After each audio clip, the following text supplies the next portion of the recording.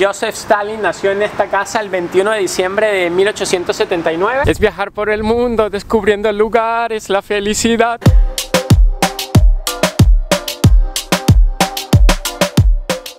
Llegamos a Gori, hay mucho viento y me causó gracia que hay un cartel dentro de los vagones que dice que la multa por viajar sin billetes de 20 lari, que al cambio vendrían siendo como unos 6-7 euros.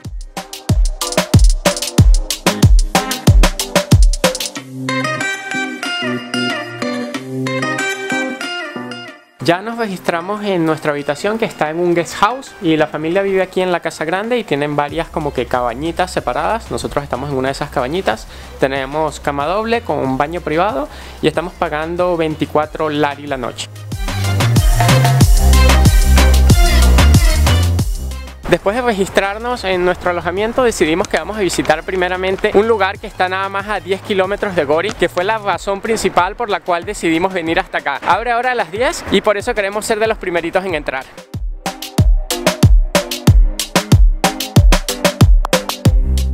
La mayoría de la gente que llega hasta acá lo hace con un tour o en taxi. Nosotros en cambio nos vinimos con una marchfutka que se agarra desde el centro de Gori, nada más unos 15 minutos más o menos de trayecto. Y le dijimos al conductor que veníamos a visitar estas cuevas. Entonces se paró antes de un puentecito y nos dijo que siguiéramos el camino. Y creo que es más o menos un kilómetro o un poquito menos y ya estamos allí.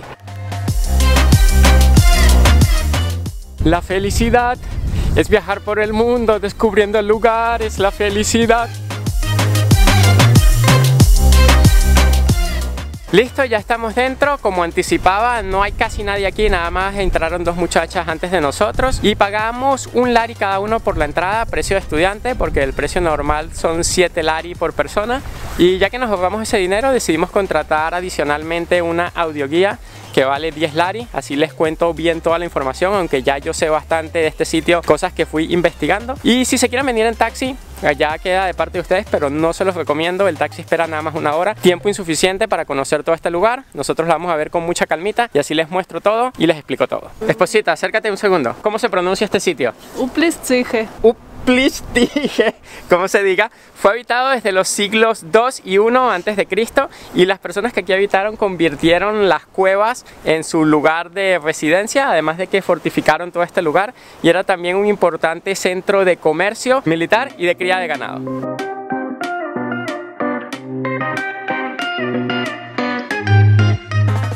Incluido en el precio del billete pueden visitar el museo que aunque es compacto pues narra muy bien toda la cronología de este lugar. Hay una película en georgiano con subtítulos en inglés y hay diferentes instrumentos o utensilios que se encontraron aquí en diferentes excavaciones, siendo en 1830 un viajero suizo la primera persona en describir las ruinas de la ciudad, en elaborar un mapa y en realizar dibujos. Luego en 1852 la primera arqueóloga georgiana continuó las investigaciones y pues desde entonces se han realizado varias expediciones por diferentes arqueólogos que han ido poco a poco tratando de ir descifrando el misterio de este lugar e ir hallando respuestas a todas las interrogantes que han surgido. Estoy vaya que súper sorprendido que no he visto gente de momento, yo que pensaba que los turistas iban a comenzar a llegar más tarde y estamos prácticamente solos de momento. Y el complejo se divide en tres partes que serían la parte baja, la parte media y la parte alta. Estamos visitando ahora primeramente la parte media a la cual accedimos a través del túnel que les mostré que conecta con la entrada que vendría siendo la parte baja. Y todo este lugar fue añadido a la lista tentativa del Patrimonio de la Humanidad en el 2007 por lo cual es cuestión de tiempo antes de que pase a formar parte de la lista definitiva del patrimonio de la humanidad.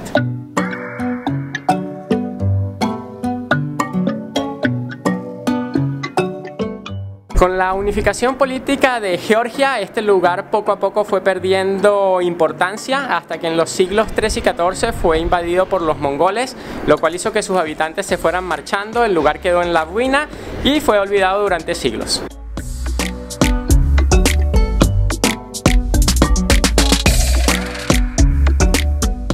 En algunas cuevas se pueden observar orificios más grandes que están cavados así como este que eran utilizados con fines funerarios. Es alucinante cómo esta ciudad acabada en la roca tenía múltiples estancias que cada una cumplía un propósito, aunque hay muchas de ellas que todavía no está del todo claro para qué servían. Por ejemplo, esta hay algunos expertos que coinciden en señalar en que era un lugar donde se guardaban documentos importantes, tal vez podría haber sido una biblioteca. Otros dicen que era una farmacia y hay quienes afirman que era un lugar donde criaban palomas mensajeras. Esta gran sala de aquí con arcos fue utilizada con fines comunales y aunque fue reconstruida en varias ocasiones, sus dimensiones no cambiaron. Las columnas están muy dañadas y tiene aquí una entrada de luz en el techo que fue cavada también.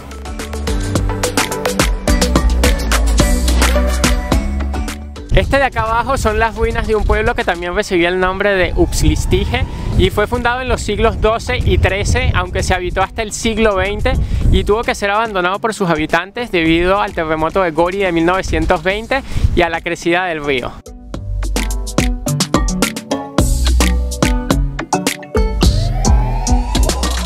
De esta estructura no queda casi nada, pero se sabe que fue una basílica. Aquello de allá donde no se puede pasar solía ser un altar y en este hueco que van a ver aquí realizaban rituales.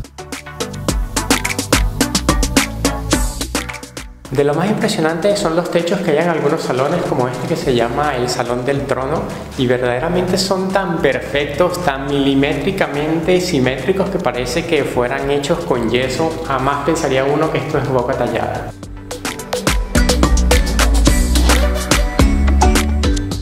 Teníamos muchísima hambre, así que acabamos comiendo por 27 lari los dos en el café que está aquí adentro. Y ahora sí, llegó el momento, vámonos a buscar la Marchrutka y conozcamos un poquito de Gori. No me había dado cuenta antes que al lado del puente que estamos cruzando ahora hay otro puente que está totalmente destruido. Era un puente colgante y de madera y vaya que daría miedo estar pasando por ahí y que eso de repente se caiga. Estamos de vuelta en Gori y vamos a visitar los dos lugares de interés que tienen los lugares más remarcables. ¿Y por qué Gori es una ciudad que no tiene mucho interés turísticamente hablando? Pues porque en 1920 fue destruida con un terremoto. Sin embargo, es la ciudad natal de Joseph Stalin y vamos a comenzar conociendo su casa. Acá afuera hay una placa que ya Daniela me la tradujo, dice que Joseph Stalin nació en esta casa el 21 de diciembre de 1879 y que pasó aquí su infancia y vivió hasta 1883.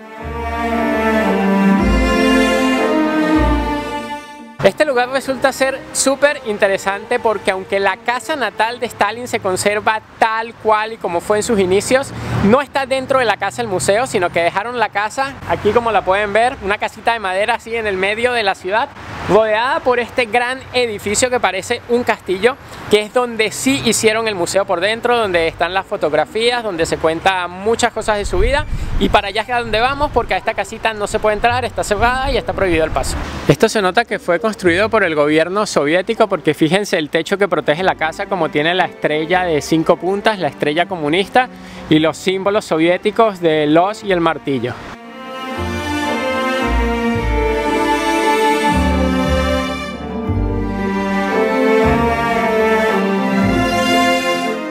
La entrada al museo vale 15 lari y de momento el museo me parece, wow, tremendo edificio que construyeron únicamente para hablar de la vida de Stalin. Un edificio que tiene, si no me equivoco, creo que son dos plantas. De momento ya hemos pasado por varias secciones. Hay muchas fotografías, objetos que le pertenecieron o que le pertenecieron a su madre y el único defecto que voy viendo de momento en el museo es que prácticamente todo está en georgiano o en ruso, con excepción de algunos títulos o traducciones de nombres propios. Seguramente todos nosotros hemos oído hablar en algún momento de nuestras vidas de Joseph Stalin. Stalin fue el sucesor de Lenin y dictador de la Unión Soviética gobernando con mano de hierro desde 1929 y hasta su muerte en 1953. Para hablar de toda su vida sería necesario dedicarle un video entero, pero podemos resumirla básicamente diciendo que fue un hombre muy malo y responsable de miles de muertes. Todos estos son objetos que se encontraban en el Kremlin de Moscú y formaban parte de la oficina de Stalin y pues lo trajeron hasta acá, son todos objetos originales.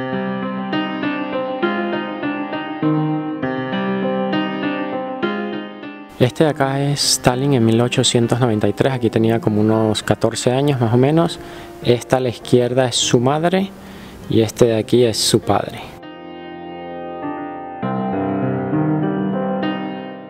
Esto de aquí, por ejemplo, está realmente curioso y es una máscara de muerte. Es decir, que cuando Stalin murió, le pusieron como una careta en la cara, digamos, para poder hacer una moldura de su cara y pues con eso hicieron esta escultura. En el museo destaca una amplia colección de objetos como por ejemplo las pipas o incluso la misma marca de tabaco que él solía fumar, así como cientos de fotografías y regalos de otros gobiernos. Había leído en internet el blog de una persona que visitó el museo y decía que aquí solamente se realzaba la figura pública de Stalin como un héroe nacional y en realidad les puedo decir que no es cierto porque Daniela, que entiende buzo, puede leer muchas de las cosas que están aquí que probablemente esa persona no haya sido capaz de leer. Y pues sí que se mencionan muchas de las atrocidades que se cometieron durante su régimen. El museo sinceramente me pareció interesante, sí que uno se cansa de ver la cara de Stalin por todas partes, está en jarrones, en alfombras, en ceniceros, en un montón de objetos, pero el museo la verdad yo creo que, según lo que me contó Daniela, narra un poco cómo él llegó a convertirse en comunista y qué fueron los aspectos de su infancia que lo llevaron a ser un poco como él era. Pueden visitar también este vagón de tren que se encuentra afuera, está incluido también en el billete y dentro pueden ver los distintos compartimientos, tenía una sala de reuniones, un baño con bañera, imagínense ese lujo, tenía la habitación donde él dormía, tenía su cocina, la verdad es que es súper bien equipado y muy lujoso por dentro. Vamos a visitar ahora la fortaleza de Gori que está allá arriba y está muy cerquita del museo, como unos 300 metros. Y aquí abajo nos encontramos primeramente con unas esculturas que no recuerdo exactamente el nombre, pero creo que es algo así como que el monumento de los guerreros. Y si nos fijamos, cada uno de ellos le falta alguna parte diferente del cuerpo. Uno no tiene la mano, otro tiene una pierna cortada, otro le falta la cabeza. Y supongo que eso representará en cierta manera la lucha por la que pasan los guerreros. Hay mucho viento y está súper difícil grabar y nos encontramos en lo alto de la fortaleza de Gori. Se cree que es del siglo XIII, aunque hay evidencia arqueológica de que ya aquí había algo en los últimos siglos antes de Cristo. La entrada es gratuita y como siempre mi recomendación es que vengan a última hora de la tarde para que vean la ciudad de día y ya a punto de hacerse de noche con estos colores tan bonitos.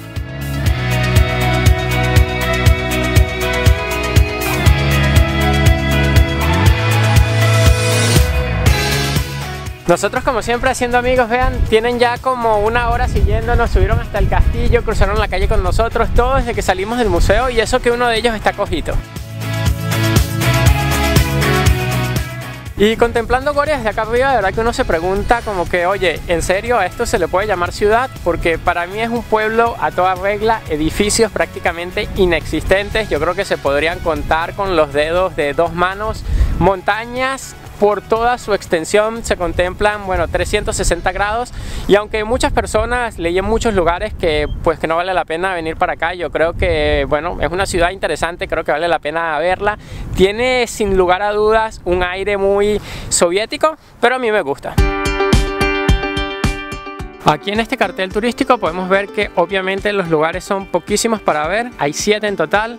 Aquí tenemos el castillo que ya lo vimos, museo etnográfico que no nos interesó mucho, el museo de Stalin que ya lo visitamos, esta iglesia que le pasamos por delante hace un momento, Upchlistice que lo visitamos esta mañana y estos dos son iglesias monasterios que estaban por allá arriba en una colina y tendríamos que irnos en taxi entonces como que no vale mucho la pena ir a visitarlos.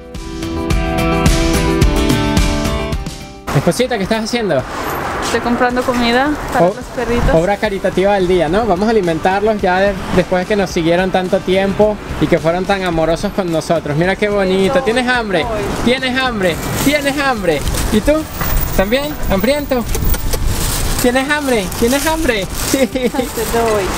Mitad para ti. Para ti. Ñam, ñam, ñam, ñam, ñam. Y mitad para ti. Ñam, ñam, ñam, ñam, ñam. A comer.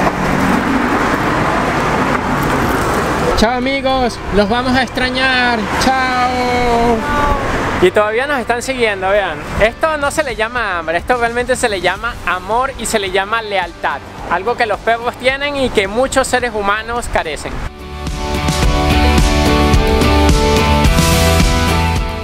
Estamos de vuelta en nuestro alojamiento y después de visitar la fortaleza, primero que nada siento que regresé con el corazón partido, tuvimos que despedirnos de esa perrita y de verdad que si hubiese podido me la llevaba a mi casa a Barcelona, la perrita súper dulce, nos seguía a todas partes, me miraba con una cara así como diciéndome no te vayas, no te vayas y me rompió el corazón de verdad. Así que espero que hayan disfrutado este episodio. Por aquí vamos a despedir temporalmente nuestra visita a Georgia porque nos vamos ahora a Armenia. Luego les voy a explicar por qué la visita a Georgia la hicimos un poquito más corta y la vamos a continuar luego. Así que espero que hayan disfrutado el episodio y nos vemos en el próximo. Chao.